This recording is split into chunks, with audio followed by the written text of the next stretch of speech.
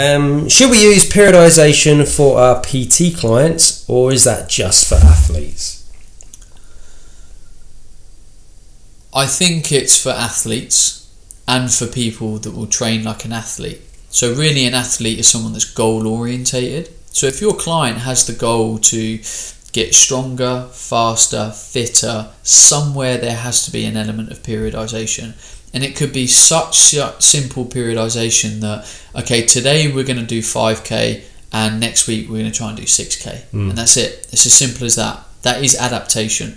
It might start to get more specific, like, right, okay, this week in the squat, we're going to do three sets of eight. Next week in the squat, we're going to do four sets of eight. Next week, we're going to do five sets of eight. Next week, we're going to do five sets of eight with two drop sets on the last two sets. That's still really simple periodization. Mm. Um, I know a lot of trainers will get a client in for a session and they might do stuff differently every day. Today we're going to do a bit of rowing. Today we're going to do a kettlebell con- complex. Today we're going to drag a prowler around and then chuck a medicine ball out outside. If that gets the client to their goal of just being happier, healthier, they enjoy the variety, that's kind of almost why they go to a personal trainer, then we can't discredit the result. Will that client get better results by periodizing more of that training? Yes. But if they're not really interested in that kind of goal gap, in really going that like extra level of athleticism and they're happy with where they're at, then don't overthink it too much. Because if you keep throwing stimulus at uh, an individual, they're going to keep doing it anyway. So the chances are, subconsciously, a trainer will see a client in the session and go, "Oh, my client's gassing here. Like they're mm. really out of breath." You'll give them a longer rest period because you can see they're gassing. If they seem like they've recovered really quickly, it's like, "Let's go again." So already you're subconsciously putting periodization into their training yeah, by just watching body language. So we can use all these apps and you know protocols to do things, and they've got their place. But it always comes back to the client and what they want to achieve. They love random training when they come into you and they're getting feel, fitter and they feel good, keep doing that. I loved your approach to that answer actually. If they're a goal orientated individual, then yes, um, that's a really quite simple way of putting it. Um, we, I mean, we talk about this a lot, and we talk about it as trainers, um, like the tut- uh, tutors. Um, you know, do you need to periodise? And sometimes we can all be a bit judgmental. Where we're in a gym and you'll see a trainer in the corner, you know, and they're week in week out. You never see them with anything. You never see them with a notebook. You never yeah. see them with a, a program or anything. And yeah. you know, they're just making stuff up and and, and I personally I don't work that way. I, I have my programs and I'm very rigid. I put the data down. I keep the logs and all the rest of it. And I'm quite I like data. I do like data and I like tracking progress. Um, but I've come around to the idea, and I totally get that not everyone wants that. Mm. That's that's that's added pressure, isn't it? You know, yeah. they might have goals in their life already that they're trying to work on. They don't need these added extras. Yeah. They might just know that if I'm physically active, I'm going to live longer and I'm going to have a better quality of life. Mm-hmm. So just do that for me, please, yeah. trainer. so if we if we talk about different character types and you were training me, I'm not that bothered at all about numbers. Right. I'm much more bothered about how I feel. Uh, my performance. Um, I'm a lot more intuitive mm. about it as a person. Whereas other people are like, oh, how many how many burpees did I do? Like, oh, what did I get? Yeah, like, yeah. And they want to know. They want to see that. If you did that with me, I'm not that bothered. Right. So you can keep all the data if you want, but it's almost wasted on me as a yeah, person. Yeah, of course, yeah. Because how I view training and what it does for me. Yeah. yeah. Horses for courses. There we are again. Um, okay. Still a couple more questions on training. Um, if we if we are using periodization, have you got a particular periodization model that you favour? i guess I'm thinking more for sports sports people, you know, perhaps rugby players. I'm always a big fan of things that increase volume and intensity in shorter periods of time. So I do like building work capacity in people. I think it strengthens a lot of things. What I don't really value is kind of like uh, absolute strength. Like I'm not that bothered of what my one RM bench is or squat or any anything like that. I'd much rather know how strong I could be repeatedly over time when stressing multiple systems because I play a sport. Yeah. So if I can use a training model where I can fit more volume in in less time, and also I'm a, I'm a busy guy, like I don't want to be in the gym. Like I know a gym, a guy down my local gym, and um, he's kind of quite into powerlifting and stuff, and his training sessions are like two, sometimes three hours, and I'm like, I have not got time for that. No, it's too long. And don't get me wrong, if you want to compete in powerlifting, if you want to do all that kind of stuff, then do the right kind of training. But my goal is to look good, feel good, be pretty strong, um, and burn a half decent amount of calories so I can drink more beer, if I'm honest. Um, so I make the training fit for me. So um, I quite like uh, cluster training. I like doing like tri-sets, quad sets. So I might do like a bench press straight into a chin up, straight into a sit up, straight into a carry because it's targeting different areas of my body, but it's also gassing my heart at the same time I'm not sure. and improving my work capacity. Alexa. Thanks, Alexa. She's uh, putting her two pennies worth in. so yeah, I like volume in short periods of time. Um, Okay. Sounds very. Um, and we haven't talked about it actually. Sounds like you possibly could have an interest in CrossFit. I respect the CrossFit model because it it if anything, if we looked at a system, it develops a fairly multidisciplinary individual. So it teaches people mobility, strength, but work capacity Yeah, as definitely well. work capacity, isn't it? And I think that's very valuable. It's Mm. like, what do most people want to do? Well, they want to be able to move pain free. They want to be fairly strong. They need absolute strength. They want to be fairly strong.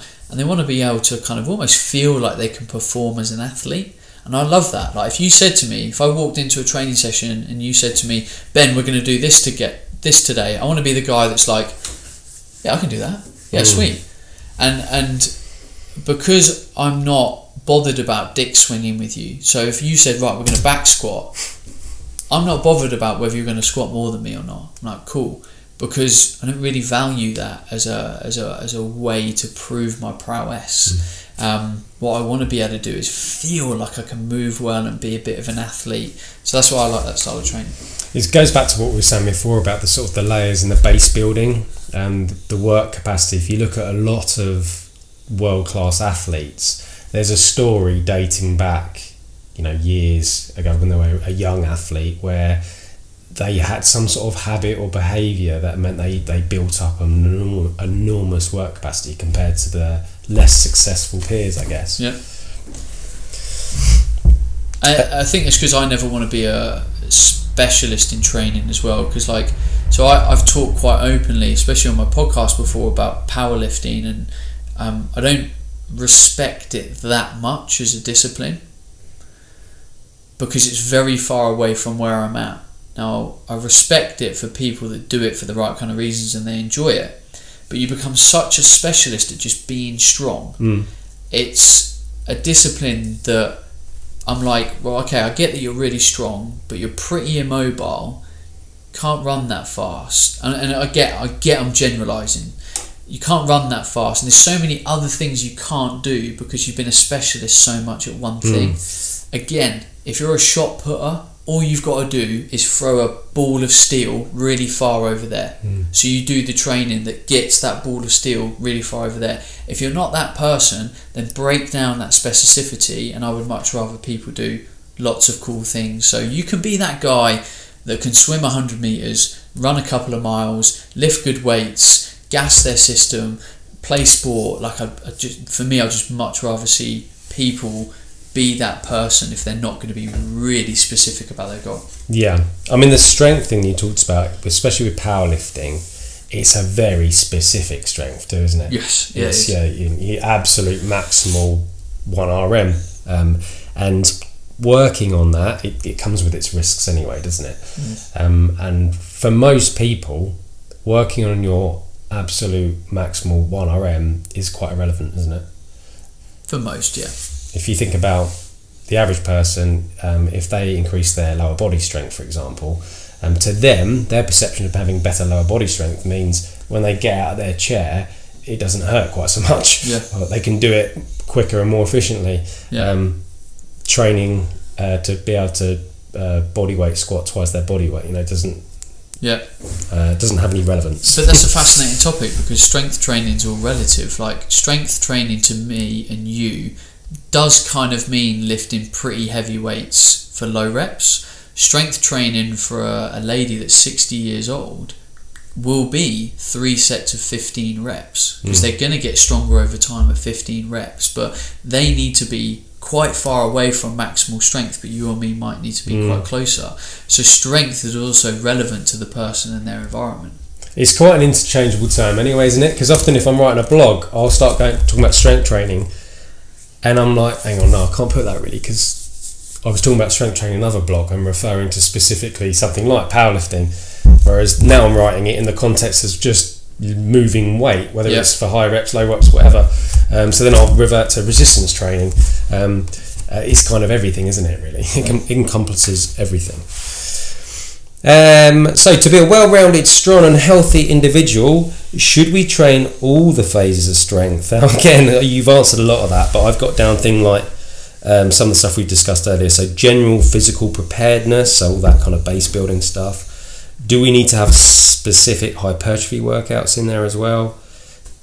Do we need to work on maximal strength? Well, actually, forget that because we've already discussed that. Should we work on power? So I think GPP really important. Just baseline. I'm going to call it being an everyday athlete. Hypertrophy I think is going to be important for a high percentage of people because you know, especially most guys who want to build a bit of muscle.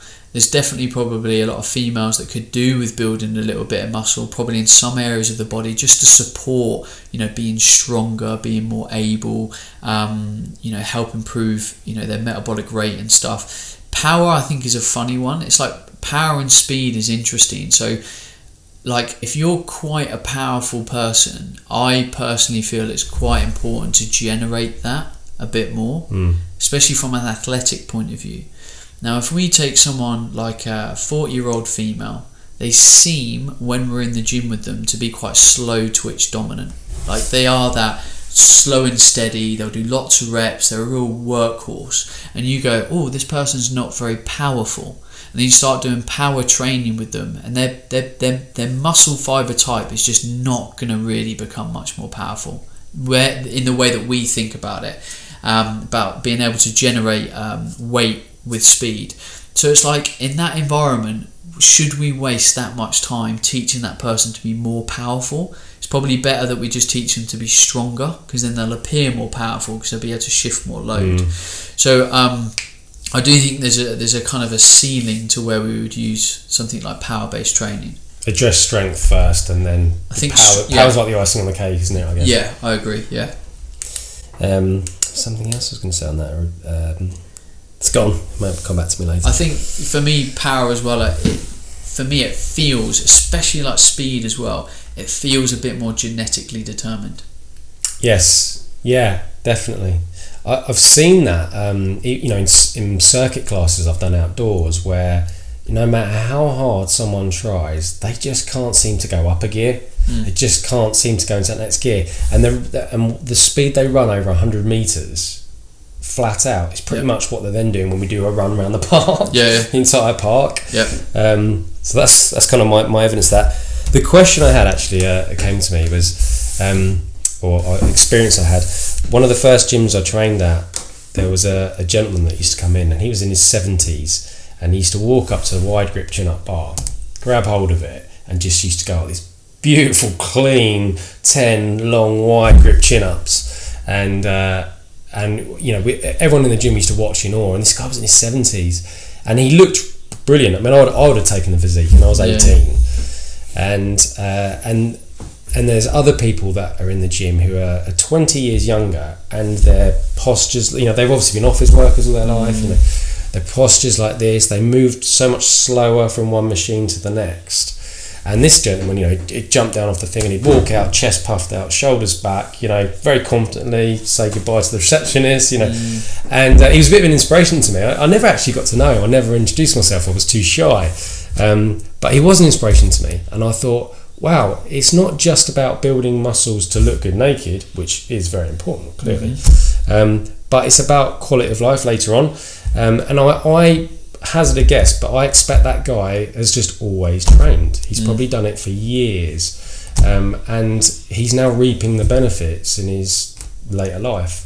Um, so I kind of wished that message was getting across to people a bit more. Mm-hmm. My granddad's exactly the same. So probably until quite recently, my granddad's always done like thirty push-ups a day and thirty sit-ups a day. Now we as people that train a lot just think, mm, is that it? but like he has a commitment there to his physical conditioning, Mm. and, and although he's only doing a bit, he's doing something, and he's always just said, well, if you don't use it, you lose it, and I don't want to be the the old guy that needs to be helped up the stairs or have to walk with his Yeah. frame, so I'm going to keep using my muscle mass. And it was just that such simple perspective. I'm like, yeah, nice. I like Damn that. right, yeah, and that's um, that's actually a huge amount of volume, isn't it? If you add that up over his time period, that's a huge Every amount day. of volume. Yeah. you know. Yeah. I think is it Dan? uh, I think it's Dan John. He says um, if it's important, do it every day. Mm. So your grand granddad obviously thought these these are two important exercises. I'm Yeah. gonna do it every day.